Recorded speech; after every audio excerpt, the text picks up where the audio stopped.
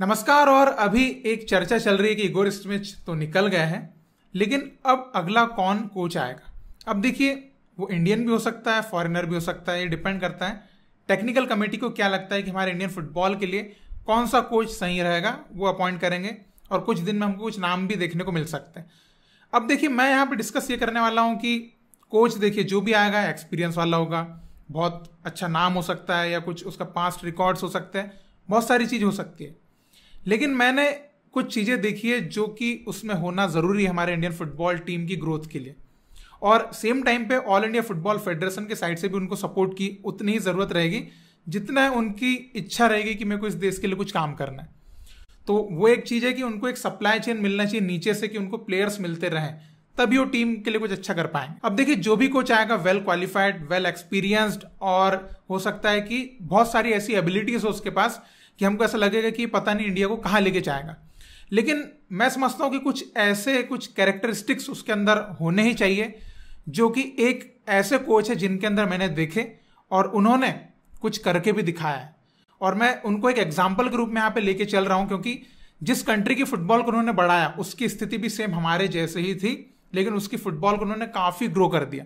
तो मैं बात कर रहा हूँ पार खांग सियो की, जो कि साउथ कोरिया से है, और इनको आप बहुत अच्छे से जानते हैं, वियतनाम फुटबॉल के हेड कोच रह चुके हैं, और वियतनाम फुटबॉल का गोल्डन एरा वो इन्होंने ही दिया था। तो उनके कुछ कैरेक्टरिस्टिक्स हैं, जो मुझे ऐसा लगता है कि अपने यहाँ पे भी जो कोच आएगा, उसके अंदर अगर होंगे तो हमारे देश की फुटबॉल भी बढ़ाने में वो बहुत अहम भूमिका निभा सकता है। तो देखिए, वियतनाम के कोच बनने से पहले पार्क जो है, वो साउथ कोरिया की सीनियर टीम के असिस्टेंट कोच रह चुके थे, और 2002 के वर्ल्ड कप में जो सेमीफाइनल में पहुँची थी उनकी टीम उस टाइम वो असिस्टेंट कोच थे।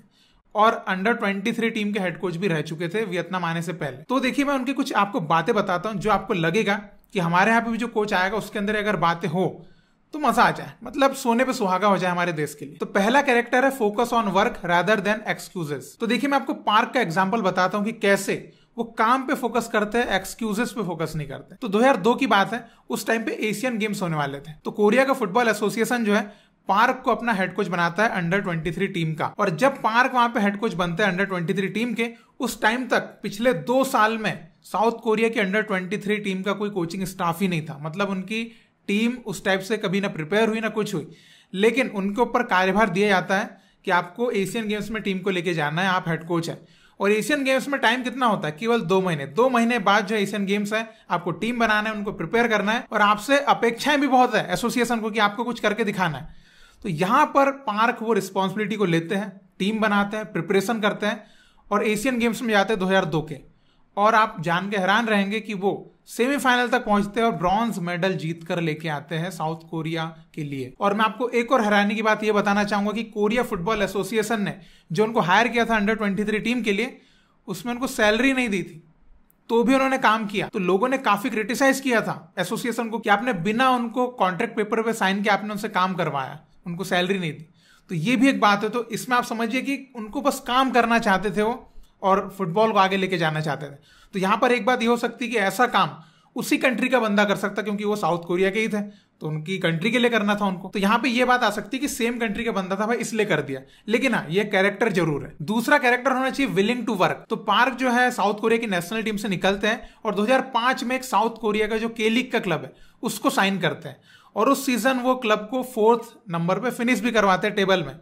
लेकिन वहाँ पे कुछ इंटरनल कुछ कॉन्फ्लिक्ट होते हैं उनके क्लब के साथ तो वो क्लब को छोड़ देते हैं। देन वो दूसरे केली के क्लब में आते हैं 2007 से 2010 तक उस क्लब में रहते हैं।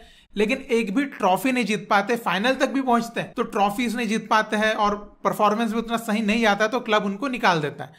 इस टाइम पे वो क्या करते हैं, क्योंकि ऑलरेडी एक बड़े कोच तो थे वो, लेकिन वो क्या करते हैं, वो एक सेकंड डिवीज़न क्लब की तरफ़ चले जाते हैं कि मैं सेकंड डिवीज़न में जाता हूँ, वहाँ पे और अपने आप को प्रूव करता हूँ। 2012 से 2015 तक उस सेकंड डिवीज़न क्लब में रहते हैं और उस क्लब को सेकंड डिवीज़न का चैंपियन बनाते हैं। देन एक इतना हाई प्रोफ़ाइल कोच बनने के बाद भी वो 2017 में एक और अनोखा कदम उठाते वो थर्ड डिवीज़न क्लब में चले जाते हैं साउथ कोरिया के।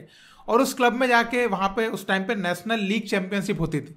उसका विनर बना देते उस क्लब को और उनको बेस्ट मैनेजर का अवार्ड भी मिलता है उस सीज़न में।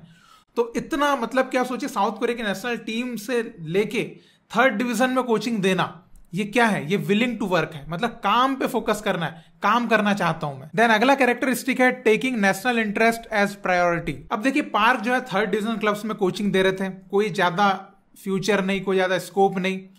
तो उस टाइम पे उनकी जो वाइफ थी, उन्होंने उनको ऐसे सजेस्ट किया कि आप क्यों नहीं साउथ ईस्ट एशियन कंट्रीज़ में जाइए, वहाँ पे आप कोचिंग करिए, थोड़े न्यू चैलेंजेस लीजिए, ये आपके लिए, आपके करियर के लिए अच्छा हो सकता है। तो पार्क इसके लिए एग्री कर जाते हैं, चलिए साउथ ईस्ट एशियन कंट्रीज़ में जाते हैं।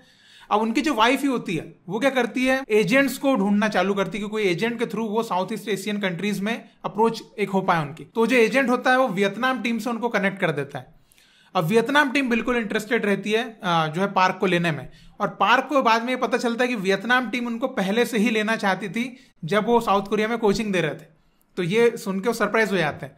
तो अब उनका बिल्कुल पक्का हो जाता है कि अब वो वियतनाम कंट्री में जा रहे हैं। लेकिन वो वियतनाम जाते उससे पहले उस कंट्री की पूरी रिसर्च करके जाते हैं कि यहाँ पे मेरे को काम कैसे करना है। यही था उनका पहला नेशनल इंटरेस्ट कि इस कंट्री की फुटबॉल को मेरे को ऊपर लेके जाना है। तो उसको एक अपना ही देश मान के चलना है। तो जब वो वियतनाम आए तो उन्होंने कुछ काम करे वियतनाम फुटबॉल टीम के लिए, जो कि मैं आपको बताता हूँ। सबसे पहला तो उन्होंने अच्छे प्लेयर्स स्काउट किए, जिनमें कुछ एक्सपीरियंस प्लेयर थे, कुछ यंग प्लेयर्स थे, और ऐसे एक बहुत ही अच्छा प्रॉपर स्क्वाड बनाया, जिसके साथ वो खेलना चाहते थे। उन्होंने वहाँ पर आके प्लेयर्स का कॉन्फिडेंस बढ़ाना चालू किया, और प्रेस कॉन्फ्रेंस जब होती थी ना नेशनल टीम की तो वो अपने प्लेयर्स को डिफेंड करते थे। मतलब जैसे अगर कोई वीकनेसेस के ऊपर सवाल कर रहा है तो डिफेंड करते थे। वो अक्सर प्रेस कॉन्फ्रेंस में कहते थे कि जो वियतनाम के प्लेयर्स हैं, उनके पास स्पेशल एबिलिटीज है, जो कि पेस है स्ट्रेंथ है और टेक्निक्स है। तो ऐसा कह के वो अपने प्लेयर्स का हौसला ही बढ़ाते थे और पूरी कंट्री के सामने अपने प्लेयर्स की, अपनी टीम की एक स्ट्रॉन्ग पॉजिटिव इमेज भी क्रिएट करते थे। और काफ़ी टाइम उनको एक सवाल भी पूछा जाता था कि वियतनाम के जो प्लेयर्स है, वो तो वीक है मतलब छोटे हैं हाइट कम है, ऐसा उनसे सवाल किया जाता था।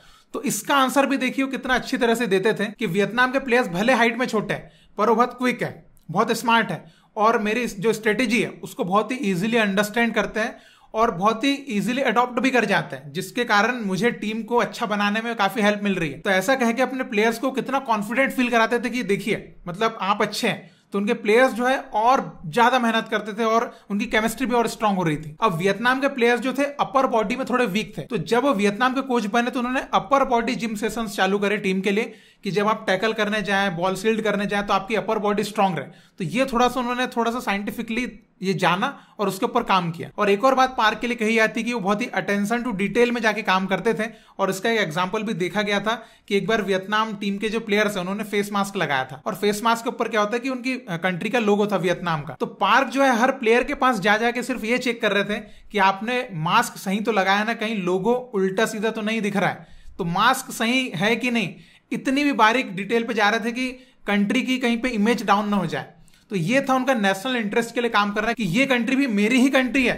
इसको मैं जितना ऊपर ले जाऊँगा, मेरी कंट्री को ले जा रहा हूँ। तो ये कैरेक्टरिस्टिक भी होना चाहिए, जो भी इंडियन फुटबॉल टीम का कोच बनता है, अगर फॉरेन का बनता है या इंडिया का बनता है।